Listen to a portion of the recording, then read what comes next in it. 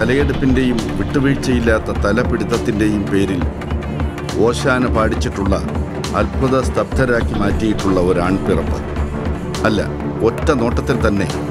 അമ്മമ്മോ ഇങ്ങനെ വെച്ചടി വെച്ചടി കുതിച്ചു പൊന്താൻ ഇവന്റെ കഴുത്തിൽ എന്താ സ്പ്രിംഗ് ആണോ ഫിറ്റ് ചെയ്തിട്ടുള്ളത് എന്നൊറ്റ ശ്വാസത്തിൽ ഉത്സവ കേരളം ചോദിച്ചു പോയിട്ടുള്ള ഒരു ആനപ്പിറപ്പ്. അല്ല ഒരു സൂര്യപുത്രൻ.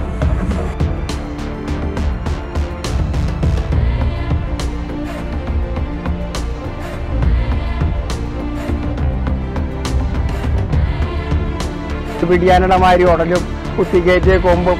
പക്ഷേ കർണൻ എന്താ വെച്ചാ അത് അവനൊരു രാജാവ് ജനിക്കേണ്ട നേരത്തെ ജനിച്ചതാണ് കർണൻ. അവന്റെ ജനനത്തിന്റെ പവറാണ് പിന്നെ പിന്നെ യാനയായിരുന്നു. പിന്നെ പിന്നെ തെച്ചിക്കോട്ടാവാന് അതിനെയും പൊട്ടിച്ചിട്ടുണ്ട്.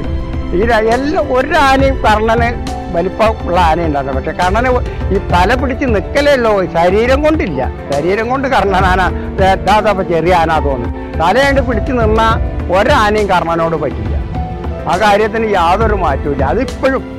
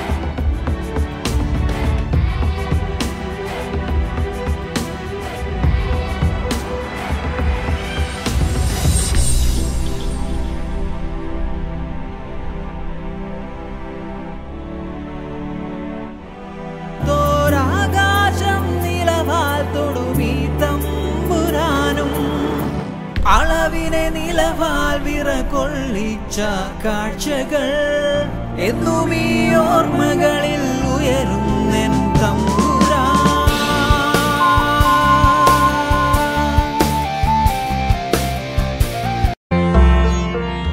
സൂര്യനും മലയാളിക്കുമിടയിൽ എടുത്തു പിടിച്ച സ്വന്തം ശിരസല്ലാതെ മറ്റൊന്നും ഉയർന്നു നിൽക്കേണ്ടെന്ന് സ്വയം അങ്ങ് തീരുമാനിച്ചുറപ്പിക്കുകയും അക്കാര്യത്തിൽ അപ്പീലില്ലാത്ത വിധം മലയാളിയെക്കൊണ്ട് കൈയടിച്ച് പാസാക്കിക്കുകയും ചെയ്ത യദുകുല മാതംഗ പെരുമാൾ. ഉത്തരമധുരാപുരിയിലെ നീലക്കടമ്പുകൾക്കിടയിൽ പിറന്നു വളർന്ന് വടക്ക് നിന്നും വന്ന് തെക്കിന്റെ വിരിമാറിലൂടെയുള്ള തേരോട്ടത്തിൽ പകരം വയ്ക്കാനില്ലാത്ത നിലവ് അഥവാ തലയെടുപ്പ് എന്ന തങ്ക തങ്കത്തിളക്കത്തിലൂടെ ഒരു നാടിനെ മുഴുവൻ അല്ല ഒരു തലമുറയെ മുഴുവൻ സ്വന്തം കാലടിച്ചോട്ടിലാക്കിയ സംഗ്രാമധീരൻ. കുലമഹിമയും ലക്ഷണകാന്തികളും ആധാരമാക്കിയ വ്യവസ്ഥാപിത ആനച്ചന്ത സങ്കല്പങ്ങളെയും സിദ്ധാന്തങ്ങളെയും എല്ലാം അടിമുടി കടപുഴക്കിയെറിഞ്ഞ കലിയുഗ വിപ്ലവകർണൻ ും